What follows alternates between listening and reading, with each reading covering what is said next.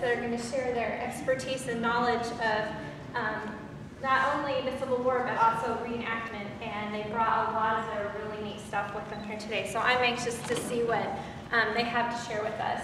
Um, this is Dan Wright and Aaron Coen.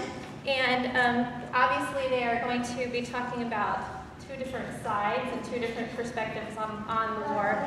Um, but uh, they will also be taking your questions. So um, at the end, if you have any questions or are curious about anything, please um, ask and share and enjoy your afternoon. Thanks.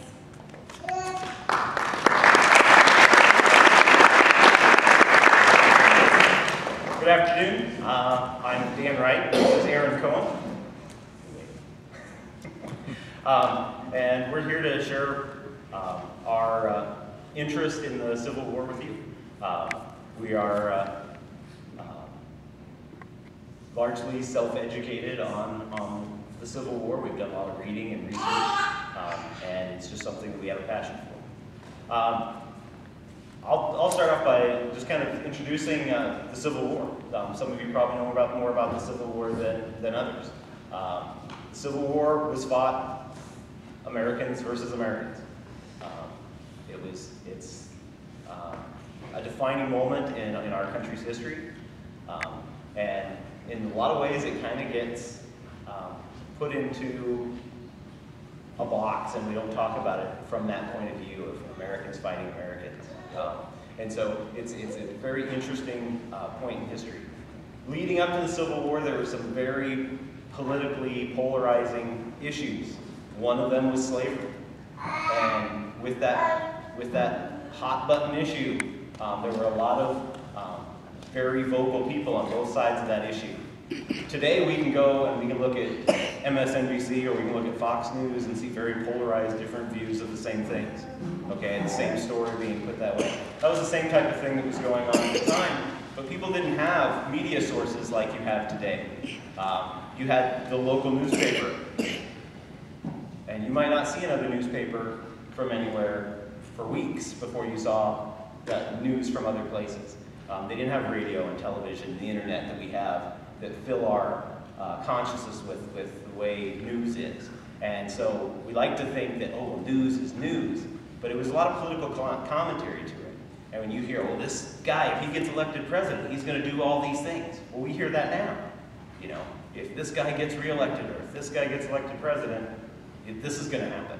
Okay? But imagine if that's the only news source you're hearing. And you can understand how people would get kind of riled up and started getting, oh yeah, we got to do this, or we got to do this, we got to back this guy, or we got to back this guy. All right? And so when they, the election of 1860 had the Republican candidate of, of Abraham Lincoln uh, running against several Democratic candidates. and because of that, um, the Democratic vote gets split. Abraham Lincoln wins the election, even though he doesn't win the popular vote, he does win the election. He carries the most number of electoral votes. And so he wins the election, and all these people in, in the South that had been vehemently against Abraham Lincoln and thought he was going to do all these terrible things, then react and probably in a lot of ways. The ideas of secession come out. All right, and the idea that, hey, you know what?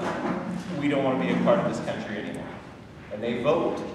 Their legislatures vote, and their popular, their, their voting population in their states vote to leave the Union. Okay? And by the time of the inauguration um, of Abraham Lincoln, six states have seceded. Six states have seceded first. Uh, South Carolina was first. South Carolina, North Carolina, Georgia. Um, Alabama, Mississippi, and Louisiana. Those six states secede before Abraham Lincoln's even president because they're afraid of the way things are going to go. Okay? In South Carolina, in Charleston Harbor, there is a United States uh, coastal battery, a fort called Fort Sumter. All right? They needed to be resupplied. That's in South Carolina. South Carolina says, no, this is ours. We own this.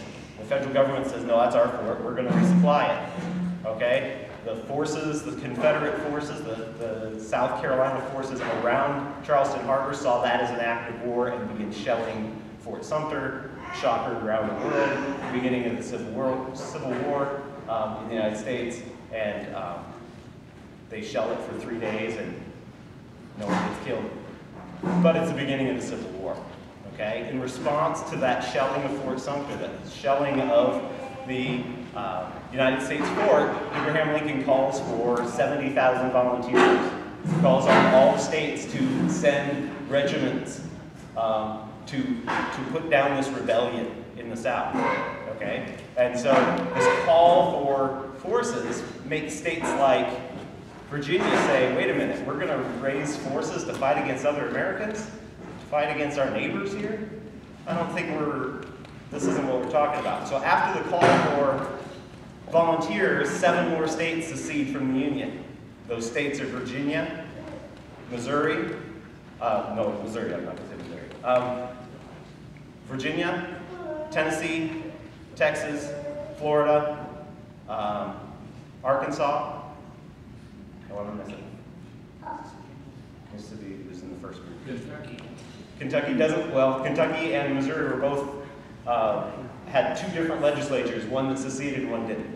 Um, Anyway, then it gets to 11 states that end up seceding after the call for, uh, so you, you have a split United States. You have states like Missouri, Kentucky, Maryland that are on the border, okay? Missouri, Kentucky, and Maryland are all slave states, but they don't leave, they don't secede, okay? Uh, Maryland decides to stay neutral. They vote to not be on either side, okay? Um, Missouri, the governor says, let's secede. The legislature says, let's don't. So the governor went and led troops against the legislature to try to force the secession, which leads Missouri to be one of, leads Missouri to be the second most, uh, to have the second most Civil War engagements. Uh, only Virginia had more Civil War engagements in the state. Missouri had a lot of battles fighting for who's going to, is it going to be a slave state? Is it going to be a free state? Is it going to be a Confederate state? Is it going to be a Union state? Um, it, was a, it was a contentious issue. Uh, Kentucky was the same thing. There was a lot of battle, battles in Kentucky, fighting for the allegiance of Kentucky. Um, Missouri and Kentucky, the South always felt that they could get them into their group, into the Confederacy. And so um, there's, a, there's, there's a lot of things about the Civil War we say, oh, it was about slavery. Well, slavery was a very, very important issue causing secession. It was a very important issue in the entire war. But the idea of the war being fought to free the slaves is a little misleading because the three slave states that stayed in the Union did not get rid of slavery until they were forced by the federal government in 1865 to do so um, by the amendment to the Constitution that outlawed slavery. The Emancipation Proclamation uh, given by Abraham Lincoln in 1862 only freed the slaves in the southern states, in the states that had rebelled against the United States. So the slaves in Missouri stayed slaves until after the war was all over. The slaves in Kentucky stayed slaves. No slaves were freed in the North during the Civil War. Uh, there were slaves in the North. There were slaves in Nebraska. Um, and, and so the, the ideas that we hear today looking back are not always, always the way people saw things at the time. We have an amazing amount of information coming into our lives every minute. They had very little information coming, okay? And so you can very easily get misled and get caught up in, in other situations. But then how does it affect the, it's, it's easy to talk about the Civil War from a big point of view, the big um, macro point of view, looking at every, you know, looking at battles and, and armies and generals. But for the individual guy, for the little guy, why do you end up fighting this war? Okay, because it's, it's the infantryman on the field with his rifle that's, that's fighting the war, not a general sitting in his tent or on his horse behind the lines watching things from a mile away. Okay, why would a poor farmer from Arkansas take up arms against the Union? All right, why would uh, a farmer from Minnesota pack up and head, you know, thousand miles from home to go fight in foreign territory, okay, and, and fight this? And from that point of view, it gets really difficult to understand. Uh, it's really hard to really grasp that. Um, a town like Aurora, which, you know, this is a pretty good sized town for, you know, I mean, was about four, four or five thousand people, okay? We'll try to put together a regiment, but if we put together a regiment out of Aurora, we take twenty percent of the population. Regiment is about a thousand guys, all right? A lot of towns would put together a company, about a hundred people who would sign up. And at the beginning of the war, they didn't think the war was gonna last long. This is gonna take long to sign up for nine months or a year. And then it'll be over, and then we can come home. And so these volunteer regiments start forming, both in the Confederacy and, and in the, uh, in the, in the Union. And they, and they form up these, one guy would take charge and say, hey, everybody come sign up, and that guy would end up being their officer because he's the guy that signed everybody up. They would elect their officers. If they didn't like how the guy was leading it, they would elect somebody else. They had re-elections of officers over and over again. Um, most officers aren't trained, they're just guys from your area. They're just somebody who took the initiative. If you can put together 10 companies, you can have a regiment, then you get to be a colonel. Okay? Um, the first Nebraska regiment was formed, it was how many, how many Nebraska regiments total? Um, two Nebraska regiments that were federalized. There was also uh, two scout companies of around 100 to 150 Pawnee Indians or Omaha Indians. And then there was a territorial militia that uh, was, militia was basically, hey, there's trouble this way, grab your guns and let's head out and take care of it. They weren't official, they didn't get paid for their service as far as I'm aware, but they were issued weapons and some uniforms by the federal government. Yeah, the, the forming of companies in the north and the south is very different. Uh, the uniforms of the north and the south, starting at the beginning of the war, are all over the place. Uh, a lot of the groups that are formed up started off as little militia units, uh, kind of little, uh, if there's trouble, we uh, will we'll join in and go put down the trouble. And they'd have, they'd have their own uniforms. Sometimes they'd be gray, sometimes they'd be blue, sometimes they'd be green. They had just whatever their, know, well, when the war first started, that's what they wore okay? And so uh, there were a lot of gray troops fighting for the Union in the first year of the war. And there were a lot of blue troops. actually wore gray when marched off to, to St. Louis. Half the guys were wearing gray. First Nebraska. Yeah. So, you know, it's, it's, it's, we, we look back at it and we say, oh, it's blue and gray. Um, but it's, it's all over the place. We'll talk a little bit more about uniforms later. Uh, Aaron's going to talk a little bit about the first Nebraska and the first Nebraska's history. Uh, well, the first Nebraska was an infantry unit, and the color of infantry is light blue. That's why you see it on my, my collar here. Uh, halfway through the war, they were eventually converted to cavalry, um, fought bushwhackers, which were uh, more or less bandits that claimed one side or the other and would raid uh, Missouri and Arkansas.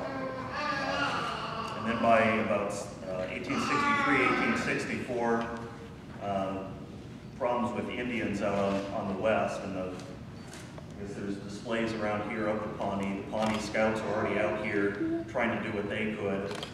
Um, but the first Nebraska was turned into cavalry and then brought back to uh, Nebraska. And the second Nebraska was a cavalry regiment the entire time. But he mentioned uh, just uh, the, the fact that if you can raise a regiment, you'll be, you'll be in command of it. Uh, well, initially when uh, Nebraska got its call for arms, everybody, or every man, since only men were allowed, to fight war, uh, was exempt from it because it was a territory. No one could be drafted, no one could be forced to, to fight in Nebraska. Every, every Civil War vet that fought in a Nebraska unit was a volunteer.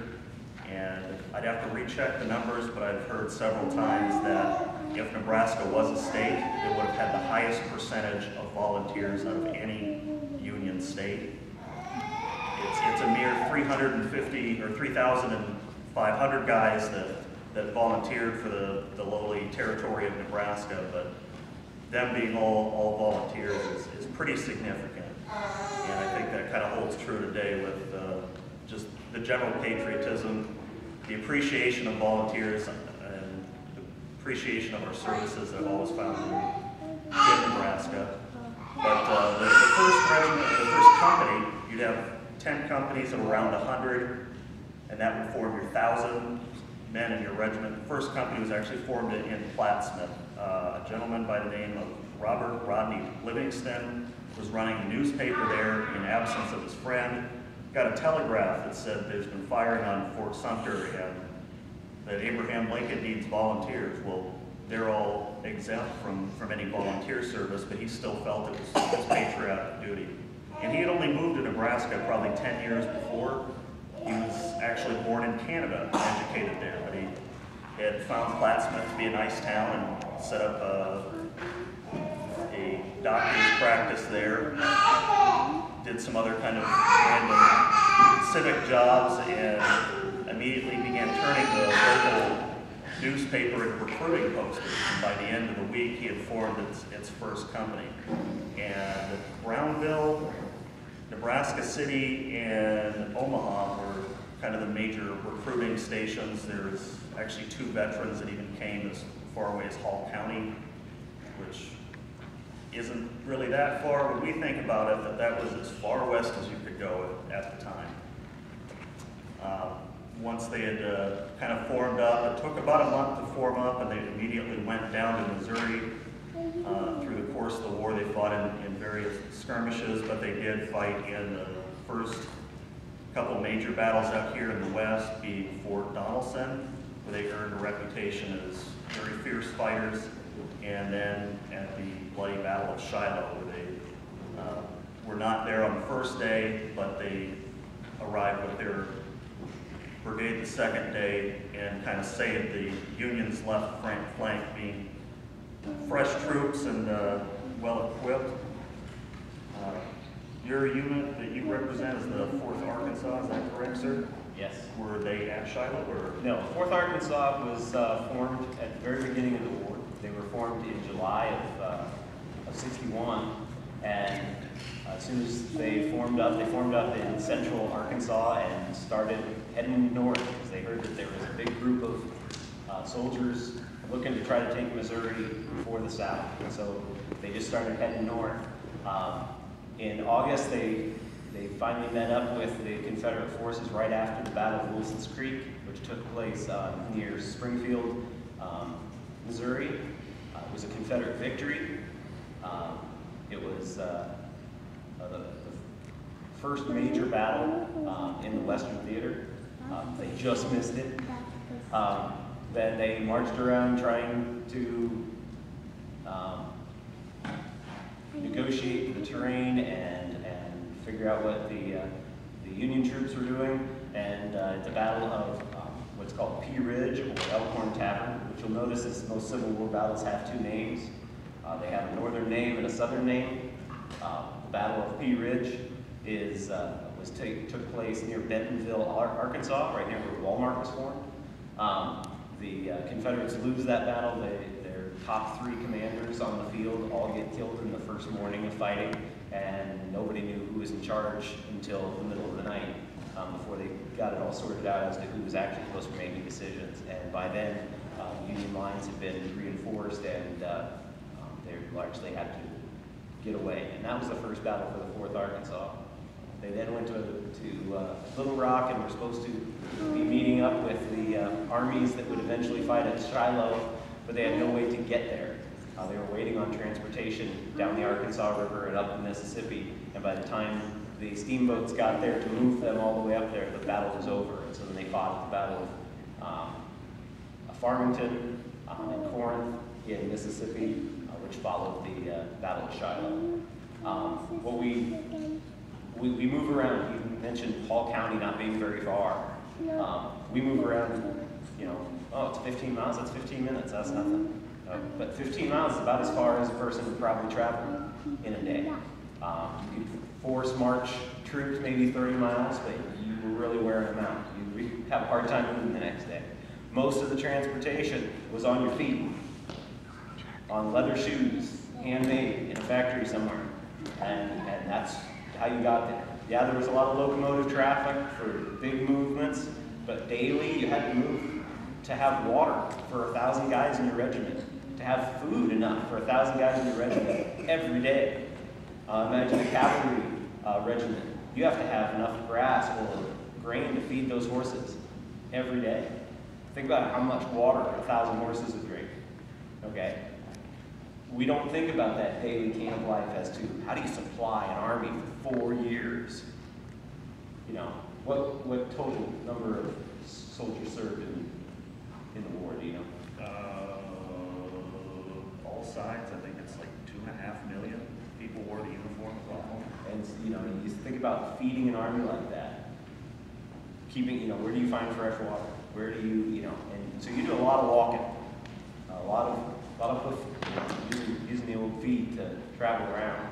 Um, the Fourth Arkansas, sorry, I talk about them a lot. I've done most of my reading on the Fourth Arkansas, but um, right now, 150 years ago today, they were being transported to Kentucky to invade Kentucky, to try to take Kentucky for the South. And, and once they got to Tennessee, they got off the trains because there were no railroads that took them north from there. They had to walk across the Cumberland Gap, and they walked all the way up to the Ohio border, across the Ohio River from Ohio. They were getting newspapers from Cincinnati. They were capturing them. And they walked and walked, and they walked the whole thing. They, um, hundreds and hundreds of miles that they walked and then had to fight a battle.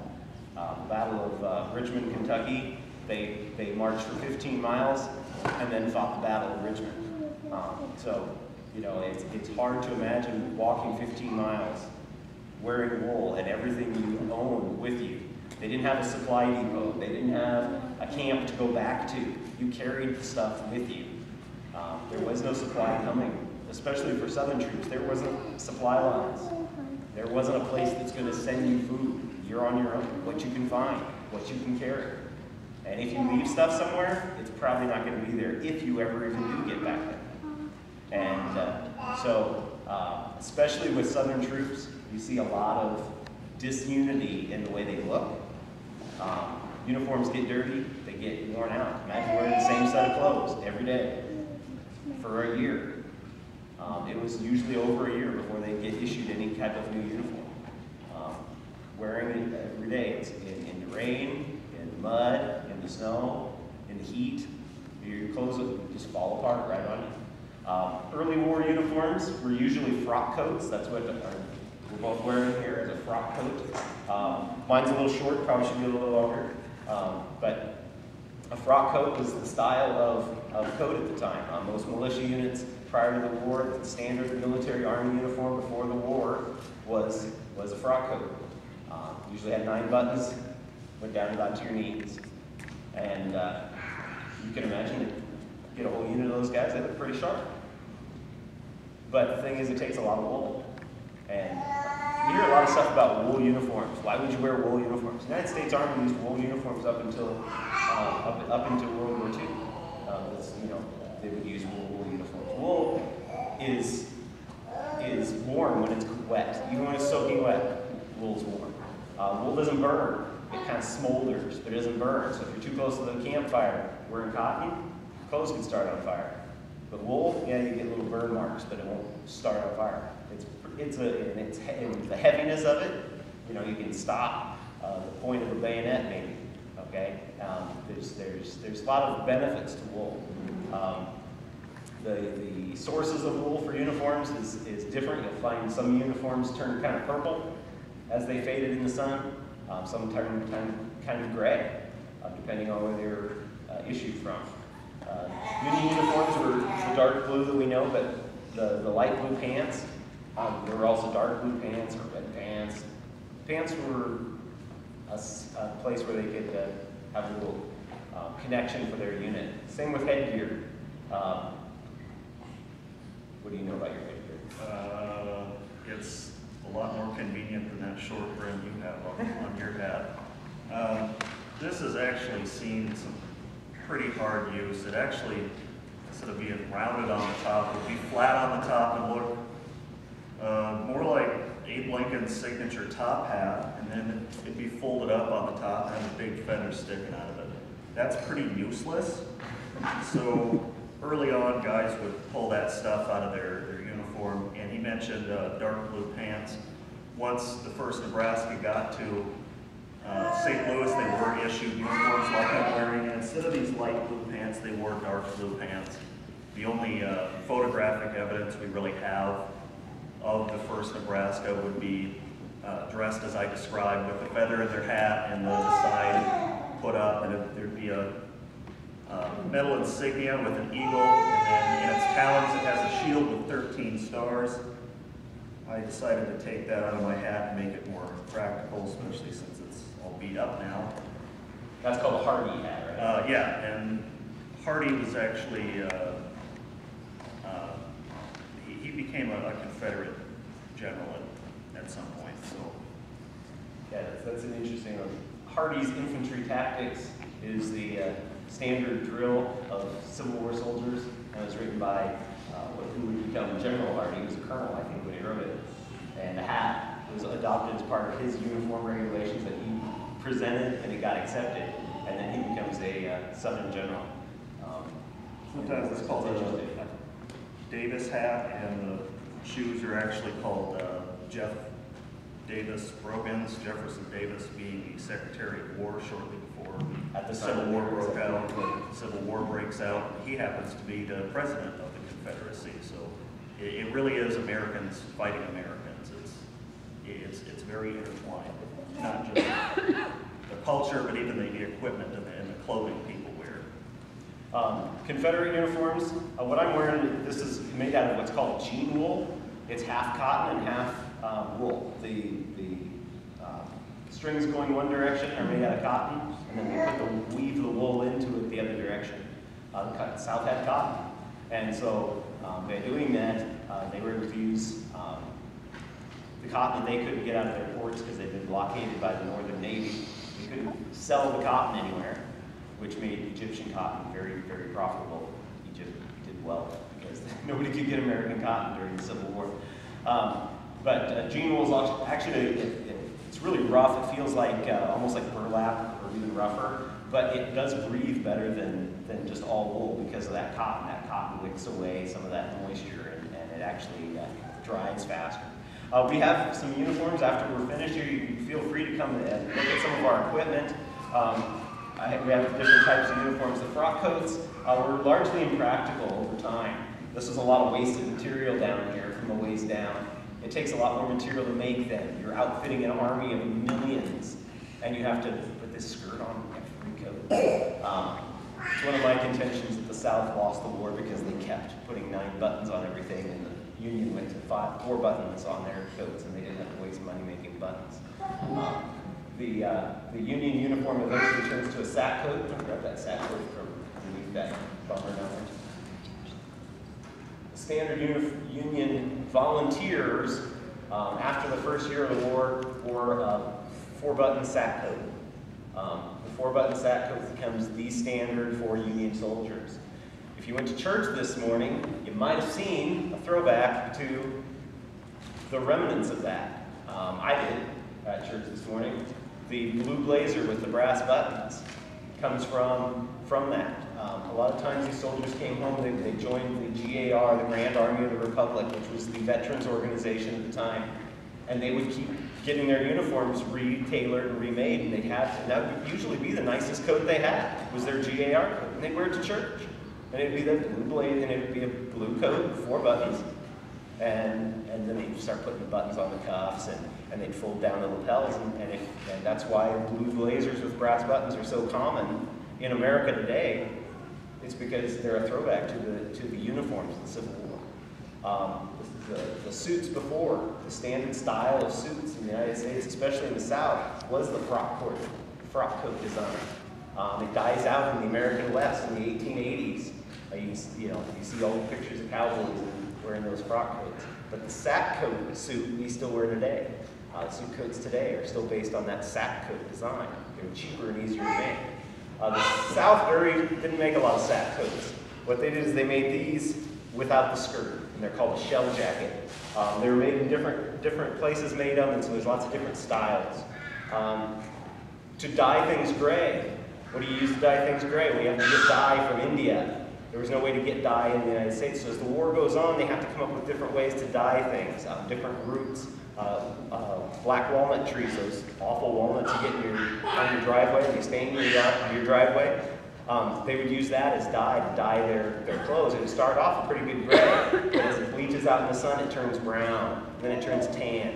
Uh, and so what you end up with is these units of Confederates, especially late in the war, all sorts of colors of browns and grays. Uh, they call them butternut, uh, as well, you know, a lot of times they're called line of butternut or butternut infantry, and, and it was because that, the, that gray would fade, they didn't have good dyes. And so it's kind of interesting. Um, you look at them in museums today, and they all look almost greenish. And it's because over time, they've, they've changed colors, whereas the blues stay pretty blue. Um, the indigo berries are pretty strong, and. So, would you like to talk about weapons? Uh, sure. Well, I don't I will show whatever you want, if you want to talk about it. Number one weapon of the soldier is the musket. Uh, this is an 1861 Springfield musket. 60, uh, 61 um, was the year that they modified the previous version, which was the 55 Springfield, which they only made 7,000 of. And It's funny because there's over 70,000 replicas of them made today. There's only 7,000 originals. Um, Early in the war, people fought with whatever they had. Um, units usually didn't get issued arms. Um, when they formed up, there weren't enough guns to be had, so guys would bring their hunting rifles with them. Uh, yours is a, Uh, this is a smoothbore, uh, 42 Springfield. It's basically almost identical to the same kind of weapons used even up to the Revolution, with the exception of the, uh, the lock plate here. Instead of being a flintlock like they used in the Revolution, the 42, uh, 1842 model, that was the first mass-produced uh, cap lock. So this would have been uh, well, by the time of the Civil War, this would have been kind of an older weapon, but a lot of units, both north and south, and including the 1st Nebraska, which is why I found myself a replica, um, used a weapon like this, but it is a larger caliber. It is a .69 caliber, where that is a .58. Uh, his is rifled, mine is not, and part of the reason is rifling is expensive. Um, the other reason is the standard military load was uh, what is called buck and ball, which is one ball of 6.9 caliber and then three to eight pieces of buckshot. So this would essentially be a, a very accurate shotgun, accurate maybe to a thousand yards at best. And given smoke on a battlefield, it still was fairly useful. Uh, of course, the, the rifled weapon was, was definitely superior, and by the end of the war, they were not making weapons like this and trying to make uh, the Model 61 and Model 1863, simplifying manufacturing, making it uh, cheaper to produce, simpler to clean, and also trying to get rid of any old ammunition stock that earlier weapons would have had. a lot of militia units had the 69 caliber smoothbore. The 42 Springfields have been around for almost 20 years. They were the standard. Uh, the 55 Springfields never caught on real well. Um, people weren't well accepted. They were a 58 caliber. Um, they, they didn't stick around very long. At the onset of the Civil War, the 61 uh, comes out simplifying that 55 model. And later on, they do the 63 twice because they screw up the first model and makes it worse. And then they fix it better, as all government programs seem to do. Um, they, they're heavy. They weigh about 10 pounds. You can shoot once without having to reload. Um, how you handle this on the battlefield, this is this keeps you. This is why you're there. Uh, it's the most important thing you have with you. Um, you uh, have cartridges preloaded. Usually come from an arsenal, probably loaded by uh, civilian workers. A lot of times, uh, women had jobs working rolling rolling rounds. It would be a roll of paper rolled around a bullet, uh, then filled with the right amount of powder, and then folded up shut and put into groups of 10. Do I have a group of 10? Yeah, you can show one of those over there on that box there. And uh, that's actually got Minié balls in it, so it's full, full weight. Oh, so it's heavy. Yeah, It is kind of heavy. Um, a full box ammunition will weigh about 80 pounds. Um, and so that's got some weight to it. All right, and the guy would carry 40 uh, rounds, so they carry four of these in your cartridge box. It's built to carry four, four pouches. Now, 40 rounds seems like a lot, but in the heat of battle, 40 rounds isn't going to last you a whole long time. Uh, you're going to spend more time reloading, and you're gonna spend, um, worrying about anything else. Forty rounds isn't gonna last in, in a big battle, and a lot of, a lot of soldiers would run out of ammunition. Also, in a heated battle, you get kind of scared, and you get, uh, confused, and, and noise gets loud, and, and there's, there's cases where soldiers would just keep loading and never fire. They just keep loading loading loading, and there'd be eight or ten rounds pounded inside their barrel. Uh, It's, it's, the heat of battle, but there would be weapons found that they x-ray and see all the rounds that are packed in there. Definitely wouldn't want to shoot it down. Uh, people like to kind of assume that it takes, oh, you know, these old muzzle-loading muskets, takes a minute to load these. Uh, a well-trained man, 20 to 15 seconds is how long it takes to load it. So you're shooting three or four times in a minute, not once every one or two minutes, which doesn't sound like that long, but it- really is an eternity when there are tens of thousands of other people trying to kill you. 15 seconds can be a very long. You know, your regiment would be a thousand guys lined up in two rows of 500. Uh, each company would be two rows of 50 guys, elbow to elbow. Imagine 500 of us. We're going to be a heck of a line. And that's just one regiment. A division would be three or even four regiments together. A brigade, I mean, a brigade would be several regiments put together. A division would be several brigades put together. Uh, when we start talking about a corps, you're talking about a lot of muskets being put on target. And you're largely shooting blind, because after the first round of, of fire, the smoke created by black powder is blinding. You, you just it just hangs there in the air unless you have a good breeze. You don't see where you're shooting anymore. You're just shooting downrange, uh, which is which is the essence of Napoleonic tactics, which were the rule of the day. To load one of these, you'd be given the, the command to load. Get your round. You bite the end off. Pour the powder down the barrel. The bullet would be right in here, the Minié ball.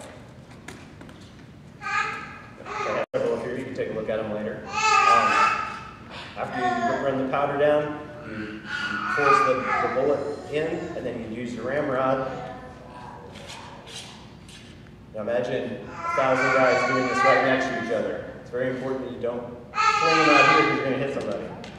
You have to ram that down, which is a lot harder than that was because. You have to prime, put a primer on here, and then you wait for the command to fire. And you wait or march to where you need it to be, and you follow your commands and you fire as a unit and put a thousand rifle bullets downrange at once. A wall of lead heading towards your enemy. Um, a lot of people aimed either way too high or way too low, and so first shots of the battle, usually nobody fell down. Uh, a lot of people turned around and ran, but um, hits were, they took a while, especially in the early, early battles. People didn't know exactly how to judge distances and how to aim for, for how far away it is. A lot of, a lot of shots went nowhere. A lot of shots just went into dirt and trees and, never hit anybody. But still, 600,000 soldiers um, on both sides combined, 639,000 soldiers died during the Civil War. 639 soldiers over a political argument that got too politically polarized that people couldn't talk it out, that they decided they were going to fight over it. They're going to shoot at each other over it. That's somehow going to solve it. Um, and it's, it's, it's a travesty. It's, it's everything that the South was afraid of, they caused after the war. By losing the war, the South caused all the things they were afraid of to happen. Um, they, they didn't achieve a thing. All they did was kill off 600,000 Americans of their own and of, of Northern soldiers. Um, in, in a lot of ways, both sides were wrong. They both had their reasons to fight, but a lot of ways, they, they were both wrong. Um, you know, the North, you know, whether they were fighting to keep the Union together, whether they were fighting to free the slaves, they also suspended habeas corpus. You didn't have a right to trial by jury. Um, people in the North, you know, were living under martial law in a lot of places. In the South, people voted to leave the United States. They voted to secede and become their own country. just like the founding fathers did when they wrote the Declaration of Independence and sent it to uh, King George. They chose to leave. And we expected it, we, we study, you know, we have the Fourth of July celebrations, and you read this Declaration of Independence, it says right in there that if your government becomes tyrannical, it's your job to stand up against it and stop it and change it. What were the southern states doing? They were seeing their government as tyrannical, and they were going to stand up and change it. When that didn't work, they voted to leave. What did we learn as a result of the Civil War? States don't have a right to leave. So in a lot of ways, all Americans are more subservient to the state now than, than they were before. Even though the slaves are freed, you don't have a right as a state to leave. You don't have a right as a group to leave the country. You leave as an individual, but not as a group. You can't leave. Federal government has priority. You know, whole idea of a big government that the South is afraid of exists today. So they didn't, they didn't achieve anything.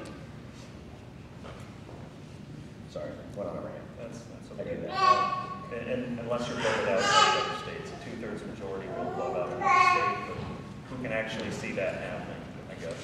The, the, the Constitution of the United States recognizes slavery.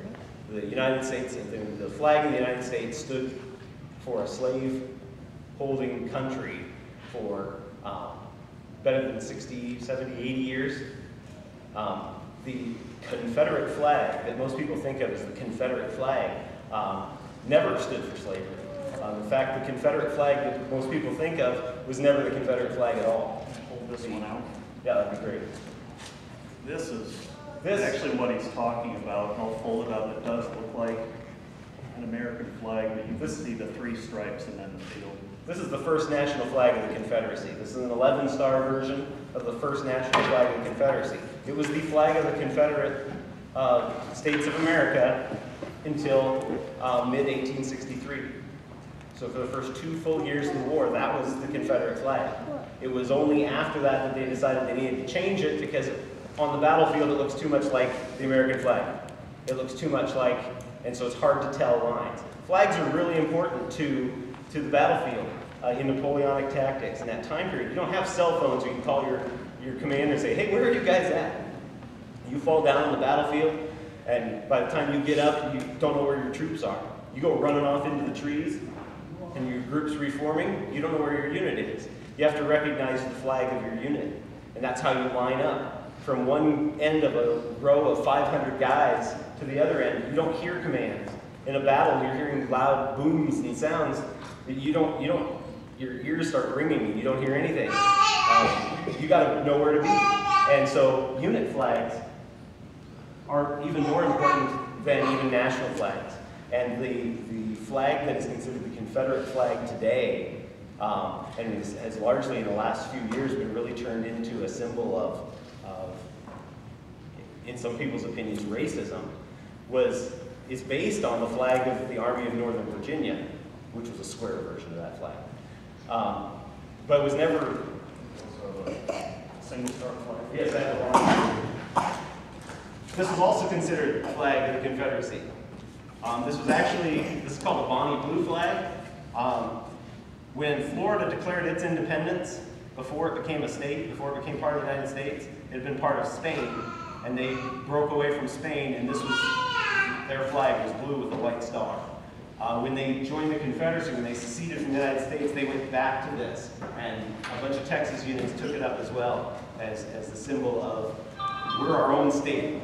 We're the only thing, we're our own state. We're not a group of states, we're our own. And so it became um, a symbol of, of, of the Confederacy. Was a wonderful song. Pretty popular in uh, South Carolina for secessionist rallies leading up to the Civil War. They saw that old symbol and this, that the, the single star flag and this one over here really more represent the true history and true heritage of the Southern Confederacy. In, in, in recent times, what we think of as the Confederate flag is really the battle flag of, Northern Virginia. That, that's part of the, the, the skewing and modernization of, of the Civil War. It, it's a more familiar symbol, but the flag he held and I held are, are actually more historically correct. And, and it, to someone who knows that, it becomes very interesting to watch popular culture villainize that Army of Northern Virginia flag, and in the meantime, close their eyes to the true history. That flag right there is the first flag of the Confederacy. If a war was fought strictly over slavery, then that flag stands for slavery. Uh, the flag of the Army of Northern Virginia stood for the Army of Northern Virginia. It was their, their unit flag. This is the flag of the 4th Arkansas. This is the unit flag. The flag of the Army of Northern Virginia was theirs. Okay? But today we see that as, as a symbol of racism, a symbol of slavery, whereas the United States flag stood for slavery for a lot longer. And this flag over here, people don't know. This is the actual stars and bars. The stars and bars that you see is that's not that's not what that was called. This was called the stars and bars. Um, the flag of the Army of Northern Virginia is what's been turned into it. Um, few years ago, Georgia had a, a huge argument over their state flag, having the Confederate flag as a part of their flag, and it had part of that Army of Northern Virginia, that part of that Confederate imagery as part of their flag, and so they voted to get rid of it and come up with a new flag. But nobody liked the new flag, so then they voted again and they had it up to this vote. And if you see the flag of Georgia today, you're going to see that minus the middle star instead it has a little building in the middle of the star. But the flag of Georgia is essentially exactly that flag today because of a politically driven idea to get rid of that symbol of the Confederacy. They ended up taking on the symbol of the true Confederacy because they were so caught up in politically correctness. And people don't know that today. People see it and they go, that Mississippi flag has that Confederate flag in it. That's bad. The Georgia flag is truly the Confederate flag, minus one star, and it has a building in the middle instead of that star. Otherwise, it's exactly the same thing. And so it, it shows how today we skew things and we change things and we look at it from, oh, it's 150 years ago. You know, it was about slavery, it's all over. You know, um, there's a lot more to the Civil War than that. Um, as I said, this is the flag of the 4th Arkansas. Uh, anybody familiar with this design? I think it's Scotsman in here. Scottish heritage. This is the Scottish flag with a white border around it. Uh, the, the commander of the 4th Arkansas was a guy by the name of McNair. Uh, he was a Scotsman. Um, and uh, and uh, they uh, served under a guy by the name of McCown, who was also a Scotsman, and all of McCown's, all of his regiments had version of this flag, so that you could tell their division from other divisions. They all had that. Hardee's division was the same blue with a big circle in it. You could tell that you were in the right division by looking over here.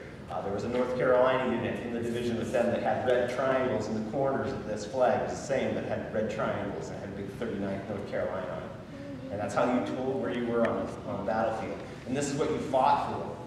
Letting this fall into the hands of the enemy was, was the worst thing that could happen.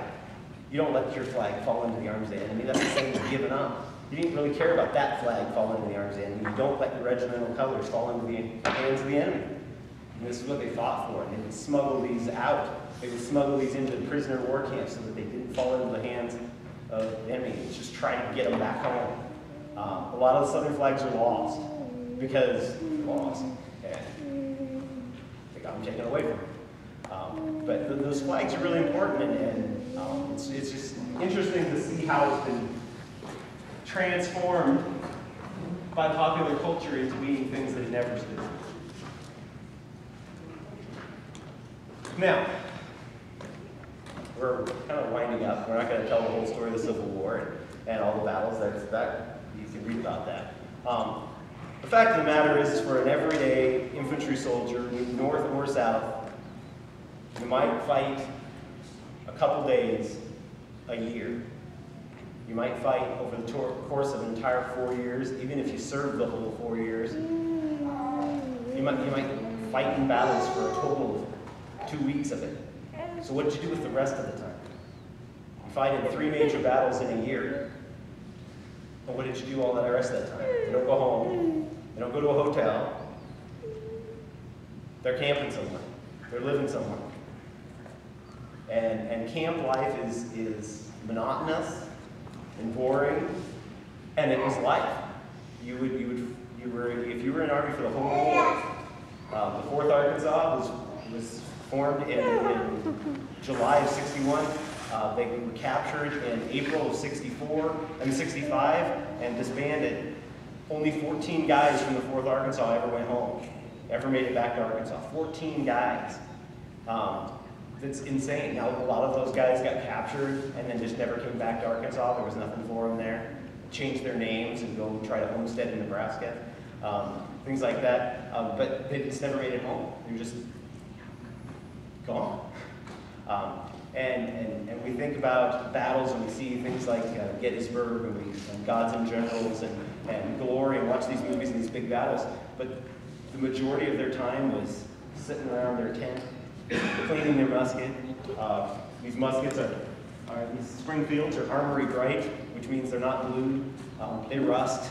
It rains. It's dewy in the morning. They rust. Mine's Um, actually quite a bit more Yours is much more rusty. weather worn, and there's armory bright, but then there's armory brown too, which is a controlled rusting of the weapon, which I'm trying to let mine happen, that clean is just not something I think I can attain. But in camp life, you do have, have that much time, you can only polish buttons of weapons so often, things like drinking were a major, major problem in the Civil War, the first Nebraska certainly had a terrible reputation as uh, fierce fighters, but terrible drunks when they were in camp, so. Well, in cleaning these weapons, you clean them with water. Um, you clean black powder out of these with water. Uh, water and metal, as we all know, are recipe for rust. Um, rust is the enemy. Um, the black powder residue after you fire black powder, very corrosive. Uh, you have to wash it out right away or you'll destroy the rifling inside your barrel. It's very important that you pour water down in. And in- if you put oil, if the gun oil that we use today in guns to clean guns and things like that, that mixes with black powder and black powder will burn. Um, so then it causes your gun to foul. So you can't use a lot of oil or any. And so keeping them functional would be a very important thing for you to do. They're going to rust constantly. I don't care about my buttons because they don't. They'll stay functional even if they turn black. But but this if this weapon gets rusty and doesn't work, I'm in trouble. So what do you do around camp? We, we clean our muskets, we drink, we play cards, we um, sit around the fire, we cook. Um, union guys, a lot of times they would have supply trains that would bring them big A-frame tents and, and cook, cooking tents, and they'd have guys that all they do is cook for them, and they just go get in the chow line. Um, this Confederacy very seldom had that. Every four to eight guys would group together, put their tents together, and they'd, they'd cook together and, and cook what you could find. Um, the North was issued things like hardtack, which is a, which is uh, flour and water baked so it's hard. Uh, call them tooth dullers. They're very hard. Um, they keep for a long time.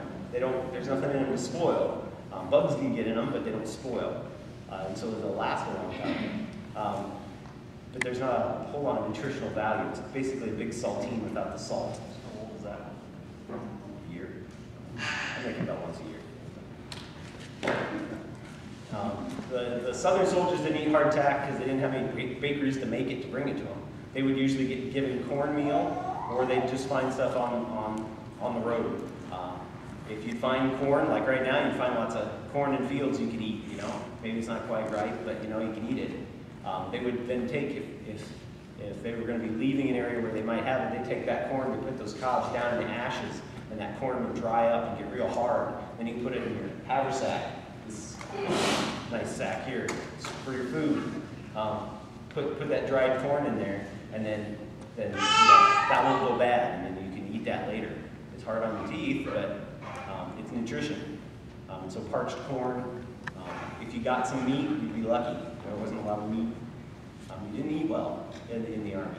A lot of people got sick. More people died of being sick uh, during the Civil War than died of battlefield wounds. That food, you, mentioned not being able to find water, that was, you, you could find water, but you don't know that downstream there could be Confederates that were bathing in it, that just washes down and you. Around the bend, there's some cat units over there, and they're horses Yeah, the horse could have just walked, You you know, Um, with it.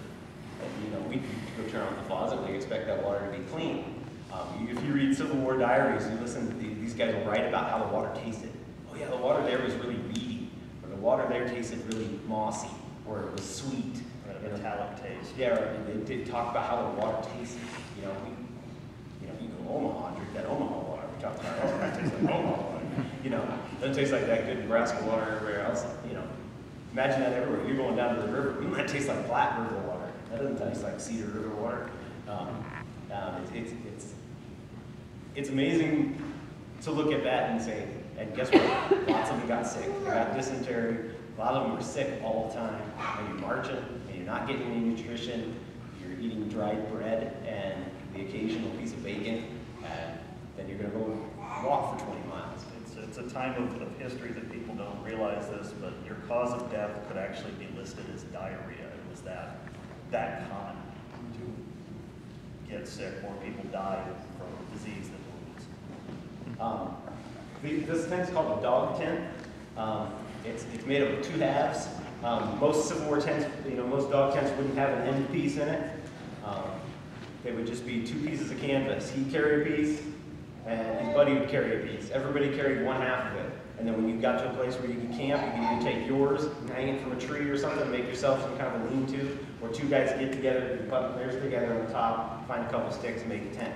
You carry those with you, it doesn't carry a lot. It doesn't, doesn't weigh a lot, um, but they get rid of them too. It, they're heavy, um, every, anything you didn't actually need. And they would go to having everything they need wrapped up inside their blanket.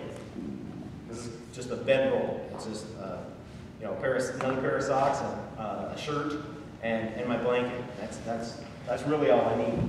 Because it's gonna rain, I'm gonna get wet anyway. This thing or not, I'm still gonna get wet, so I might as well just get soaked. Um, and the less stuff you have to carry, because nobody's gonna help you carry my stuff. And you gotta carry everything with you. And that's day to day, every day. Um, and as reenactors, um, some reenactors do this more in that way than others. Um, some show up with a pickup truck full of their stuff, unload, and they have great big tents, and they have big cooking equipment, and they have all this stuff. And some guys, you know, park a mile away and hoof it in with just barely anything. Um, and there's all ranges in between. No two Civil War reenacting units are the same. Um, and it, it's, it's, it's, I think it's really eye-opening to, to try to live that way.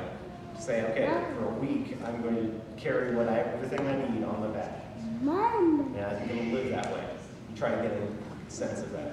And I think that's what we kind of try to do, is try to recapture that time period and, and, and live um, in that way to try to show people um, what that was like. We're inside in air conditioning today. We really should be doing this outside in the sun. Like three days ago, it was like 100 degrees. you know, um, wearing layers of wool with our wool hats on, because that's the way daily life would have been. You have anything else you want to talk about? We do some Q&A. Um, Yeah, I guess we can answer, answer questions. Give my spiel on the first Nebraska a little bit. I think we have a gentleman who has a question. In, in a react, reenactment, is it both Confederate and Union? And what do you do? Is there battles or is it just one side in, in, in reenactment? Or how does that work? Is it spectator friendly? Usually, um, most of them are put together to be spectator friendly. Um, one of the reasons the group I'm in even exists is because there was the first Nebraska. There's a group now that's called the First Nebraska. Um, it's based out of Omaha. Uh, Lincoln, Omaha, I'm actually from Kearney. There's a group of guys from from Kearney and Fort Kearny that are part of the first Nebraska. And then there's the, uh, in Fremont, there's the Fremont Pathfinders, and they're also a union group. Um, there's, there's lots of union groups around. There aren't a lot of Confederate groups around, and so when they try to do a reenactment, you need to have somebody to fight against. And so then guys would do what they call galvanizing, which is where you have to take some of those union guys and have them dress up as Confederate guys. And, um, galvanizing actually is a, a period term, um, and what, what galvanized, uh, Yankees really were, were Confederates that had been prisoners, and then they had, to get out of the prison camps, they had volunteered to fight Indians out on the prairie. So actually at Fort Kearny, there were these, uh, galvanized Yankees, I think sometimes they're called galvanized Confederates today, that's really not quite true. But Confederate soldiers that then changed sides after they'd been captured. Uh, in order to get out of prison camp, they had to vow not to take up arms against. Um, they couldn't go back and fight for the South, but they'd get special special treatment or allowed out earlier if they agree to sign up and go out to some western outposts like Fort Kearny um, and, serve, serve there out of the way. You know, we can trust you because you're not fighting against your friends over there. You're, you're protecting land treaties against Indians or whatever. But, uh, but yeah, I mean, we always try to have um, both sides. Some, some reenactments are bigger than others. Uh, I went to one a few weeks ago in Missouri, and there were there were 100 guys on a side. Um, uh, whereas if you go to like a national reenactment, like you went to Shiloh, what were their total numbers there? Uh, biggest number I heard was seven thousand. And really at an event that size, you do get a sense of the numbers of people.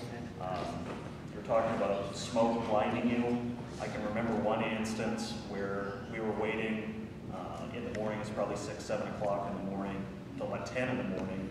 And the smoke was so thick that if you could imagine this room, instead of walls, it would be smoke and mist. You couldn't see beyond that. And the sun was just this dim, bloody red ball in the sky. You could look right at it. It was so, so dim. There wasn't a cloud in the sky, but just the hanging smoke, hanging with the, the mist, really kind of blind you. So if you get a chance to go to a larger reenactment, I encourage you to do so.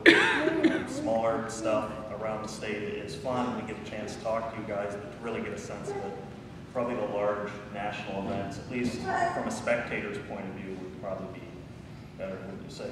Right. Problem is, is there aren't a lot of them out here. Um, Battle of Wilson's Creek, as I mentioned earlier, uh, there was a reenactment of that last fall, uh, last August, right around the 150th anniversary. Um, there were over 40,000 spectators that came out over three days to watch the battle.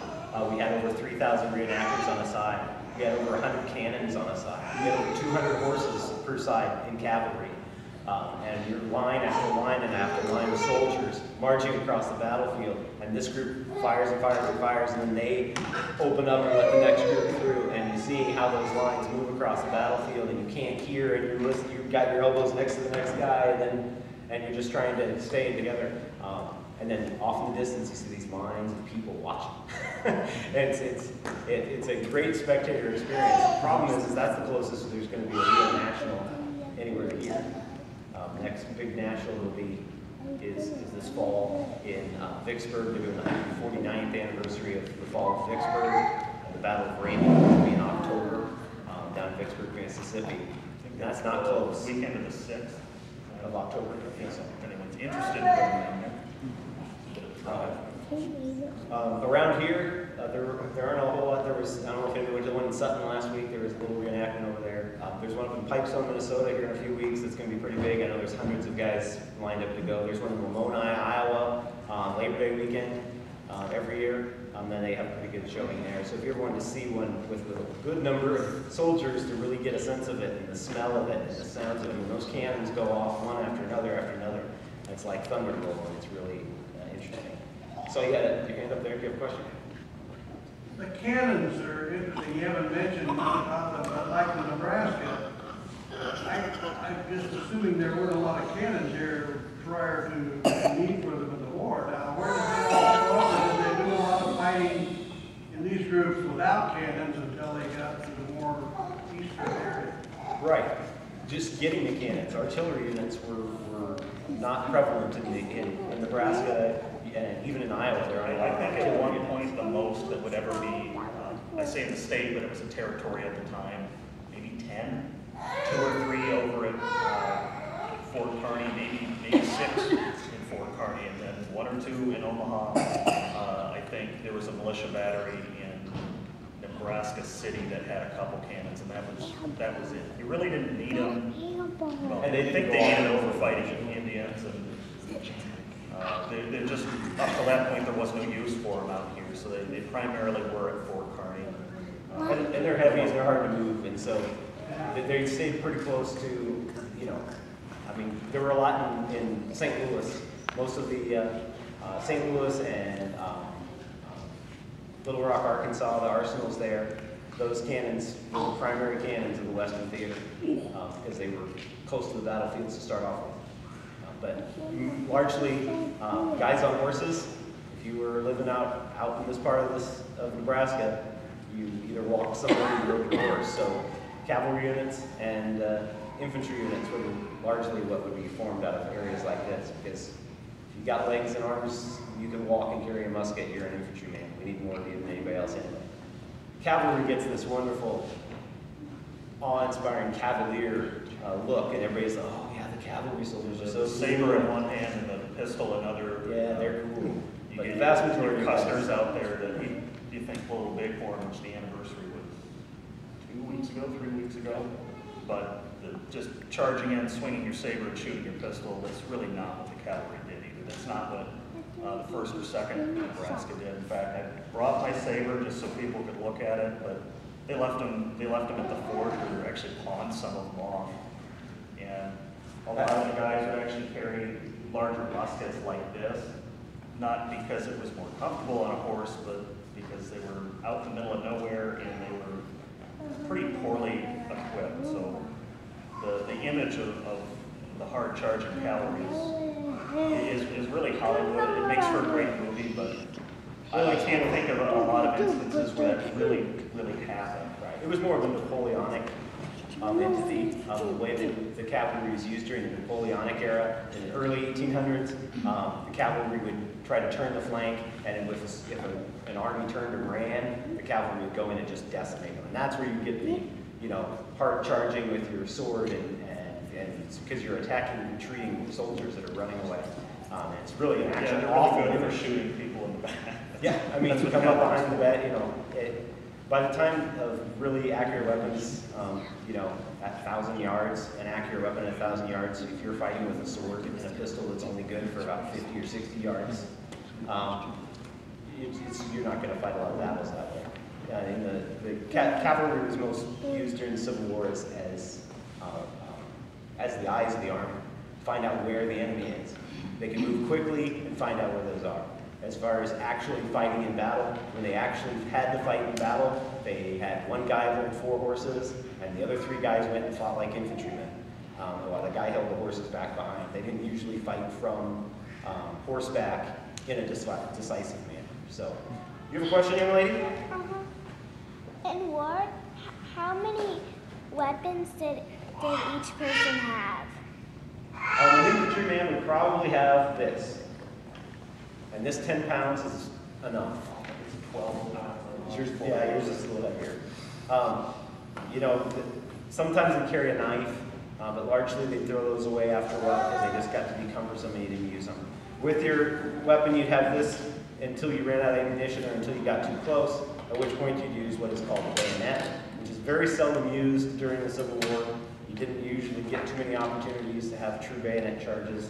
Um, again, a throwback to Napoleonic tactics, but the idea of getting up close and stabbing your enemy with the pokey end is, uh, uh, wasn't very common, but you could call this a weapon, so there'd be two. Um, Cavalry soldiers would usually, they'd have a pistol, a carbine, uh, maybe a sword. a. Carbine's just a shortened down Musket, basically, but some of them, uh, you're, I'm assuming everyone's familiar with like the, the- the Winchester rifle, the classic lever action Winchester, in very small amounts, weapons like that are starting to be used in the Civil War, but that right there is your, your primary weapon. And this you can get weapon, you can get ammunition for this, you know. Um, and this is the mass, this is the most common weapon in the Civil War was the spring, the 61 Springfield. The Springfield was the most commonly issued weapon, followed by the Enfield, which was made in England. Um, both Union and um, Confederate troops were given Enfields. Slightly different caliber, but they could force the ammunition into both, um, which led to a few problems, but not too many. But this is the vast majority. You on the battlefield, I can go through everybody's ammunition box that they've dropped it or they're laying there dying, and I can go through and I can take extra ammunition and it'll match. If I start using a Winchester like hanging on the wall over there, or uh, a shotgun or something, where am I going to get ammunition on the battlefield? Um, Southern troops a lot of times would pick up weapons because they never got issued weapons. Um, the 4th Arkansas never was issued weapons, and they captured 5,000 um, weapons at uh, the Battle of Richmond, Kentucky, and then they got issued weapons that they had collected off the battlefield. That's the only time they were given weapons throughout the war. And so that, so that would be what you'd have. Question, sir? Um, you're both representing different regiments, like you're the, uh, Fourth Arkansas and the First Nebraska, I'm assuming over there. And it just struck me as how specific that is when you're coming to do an exhibition of, uh, Civil War. And I was just wondering, did you choose that on your own? And so, why, why did you choose those specific regiments to, to display? Do you want to answer first, do you want me to? Well, um, our unit was formed, I'm a member of a group, uh, we have about twenty-some guys, and we're the Fourth Arkansas. When we go to a, a- a reenactment, we try to go together and serve together. We have our uniforms based on research we've done as to what the Fourth Arkansas's uniforms would be.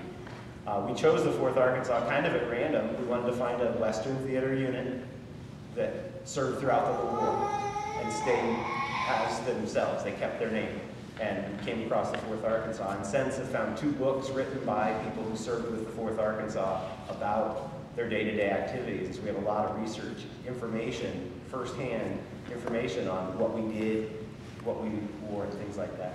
The First Nebraska uh, is a group here in Nebraska. It's been around for quite a while. Uh, yeah, I think the, the original, uh, the, the original group of reenactors for the third, first Nebraska actually started in the nineteen seventies, so it's a pretty old, uh, reenacting regiment. Why I personally picked it, is really, like I kind of mentioned before, uh, Nebraska does tend to take better care and respect its veterans a lot more, but I noticed there weren't a lot of people that even knew that Nebraska fought in the Civil War. And I didn't want Nebraska's first veterans, which uh, you, you generally think too of uh, regiments and society being segregated, but uh, reminding people that uh, there were Native Americans that fought with the first Nebraska. Um, Nebraska's first African-American veteran was with the first Nebraska also, and I wanted to make sure that um, Nebraska's, their, their first, the first Nebraska veterans, not just the first Nebraska unit, but the original veterans of Nebraska were remembered, and that's why I personally picked the first Nebraska. And it's also more convenient since there's already a regiment formed up too. I can join in with them, but at present,